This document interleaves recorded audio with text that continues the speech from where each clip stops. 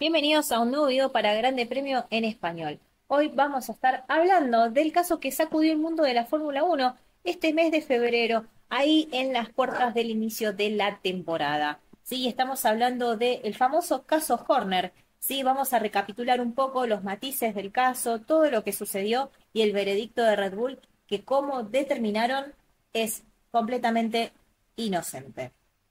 A principios de este mes trascendió que el equipo Red Bull vivía un clima de conflicto dentro, ya que una de las empleadas del equipo denunció que Christian Horner habría tenido un acercamiento un poco inapropiado hacia ella. Sí, estamos hablando de mensajes inapropiados y hasta fotos, ¿sí? La empleada ratificó luego que había una denuncia por acoso sexual contra el jefe del equipo campeón del mundo. Obviamente esto detonó en una investigación que el mismo equipo realizó internamente, ¿sí? Y además de eh, el testimonio de la denunciante contó con testimonios del mismo Horner y de terceros que pudieron obviamente verificar la inocencia del británico. Este hecho sin duda sacudió al equipo Red Bull, principalmente en las puertas de lo que fue la presentación del RB20, el coche con el que correrán en la temporada 2024 de Fórmula 1. Y aún sin eh, decisiones durante todos estos días, pudimos ver a Christian Horner ser parte del equipo. Por un lado, primero en la presentación del equipo, eh, en donde obviamente se les consultó el tema, pero no hubo muchas aclaraciones. Y luego también lo vimos llegar a Horner en las pruebas de pretemporada con una salvedad. En el primer día de pruebas lo hemos visto vestido, como se dice, de civil. No estaba llevando la indumentaria del equipo. Y todo el hermetismo en cuanto al equipo Red Bull acercaba más eh, incertidumbres que certezas sobre qué podría pasar a partir de la denuncia.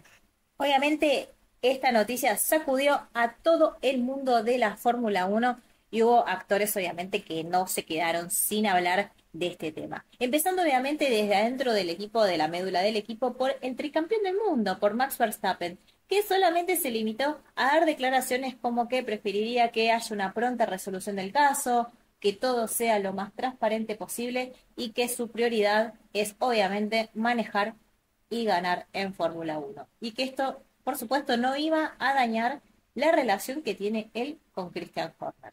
Por otro lado, hubo otros jefes de equipos que eh, opinaron del tema, principalmente Toto Wolf, digamos, como podría decirse como un archirrival de Horner, ¿sí?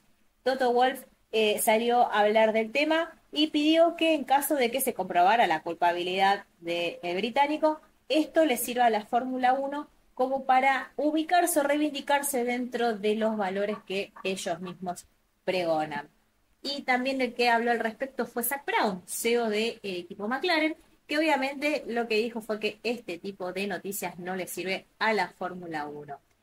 Desde la FIA, por su parte, Mohamed Ben presidente del organismo máximo, dijo que este tipo de casos merece ser revisado con total transparencia, pero que de alguna manera necesitaban poder resolverlo urgente. Tengamos en cuenta que en febrero, además de las presentaciones de los autos, luego vinieron los test de pretemporada y que la temporada justamente va a empezar el 29 de febrero con los test en eh, Bahrein, en una carrera que bueno se va a disputar el día sábado en el circuito de Sakir.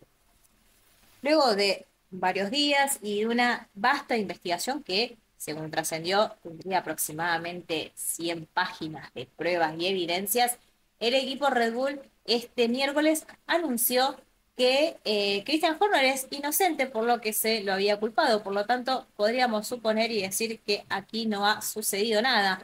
Obviamente, en el caso de comprobarse la culpabilidad de Horner, iba a ser obligado, según trascendió a los medios, iba a ser obligado a eh, dejar su puesto de jefe del equipo. Y esto obviamente podría detonar una crisis dentro de Red Bull, obviamente. Por eso es que eh, luego de determinarse la, la inocencia de Horner por los cargos por los que fue denunciado, se podría decir que aquí no ha sucedido nada y todo seguirá su curso completamente normal. ¿Estás de acuerdo con las medidas que tomó Red Bull? ¿Pensás que se tomaron a conciencia o que simplemente necesitaban poder resolver el caso y dar un veredicto antes del inicio de temporada? Por favor, deja tu opinión en los comentarios que acá leemos absolutamente todo y no te olvides que dentro de muy poquitito, más precisamente a partir de mañana, empieza oficialmente la temporada de Fórmula 1 y todas las novedades sobre la máxima las encontrás en el canal de Grande Premio en español.